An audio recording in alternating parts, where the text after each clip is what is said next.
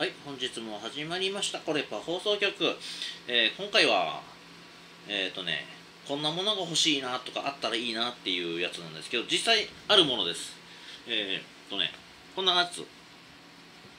こちら、ショルダーポーチっていう、あの、やつなんですけど、えっ、と、C96 の祭りじゃさん、ナナロバ花さん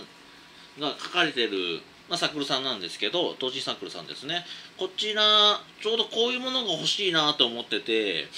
ショルダーポーチ系の、うん、このペラペラなんですけど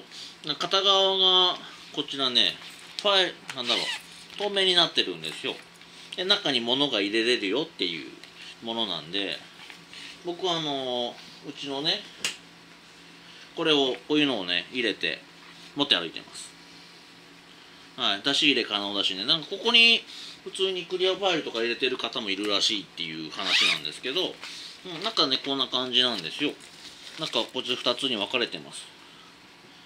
はい、ちょっと見にくくてごめんなさい。はい、こんな感じでね、まあまあ中身そんなにね、まあ僕はこういうのになちょっとなんかいろんなものファイル入れて持って歩いたりとかね、撮影してやってるんですけど、うん、こういうのが欲しいなーって思ってた矢先にこういうのが、あ、作られて発見したみたいな感じで、あ、いいなと思って買いました。はい、買ったはいいんですけどやっぱり自分の推しキャラ欲しいですよねっていうことになって作ってみようかなとかと思ってます。はい。なんでねこれうんどうなんですかね。結構ね面白くて可愛いいしね、うん、推しあの推し推しのイラストレーターさんではあるんですけどうんやっぱり自分の推しキャラがいいかなみたいな。これはこれでありなんですけどね。もちろん全然ありなんですけど。うーんっていうことでちょっと作ってみようかなとか思いながら1個2個作ると大変なねお値段になってしまいそうなんでちょっと中からね数作ってみたらどうなんだろうみたいな。まあ何個から作れるか分かりもう分かりませんけど。はいこのショルダーポーチ。うんちょっとね可愛らしくて。A4 が入るんで A4 ファイルだったりとかね。あの A4 のボードだったりとかも入るんで使用勝手はうん全然いいかなとか思います。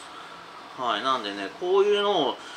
ねグッズ化してやっていくとねいいかなとか思いながらね最近ちょっとあんまグッズ集めてないんですけど使い勝手がいいものはやっぱり欲しいかなとか思ってショルダーポーチっていうものをちょっと皆さんにおすすめしながら僕も作ってみようかなみたいな感じで考えております。はいということで今回はねワルチ君欲しいものっていうことでショルダーポーチはい、こちらはね、祭りジャーさんの、まあね、グッズなんですけど、こちら、ちょっとね、まあ、あのオマージュさせオマージュじゃないな、なんだろうね、うん、あのリスペクトさせてもらって、こういうものを作ってみようかなって、ちょっと考えておりますので、また作ったらまた皆さんにね、こんなの作ったよって言うと思いますので、また見たってください。はい、ではこんな感じで、バイバーイ。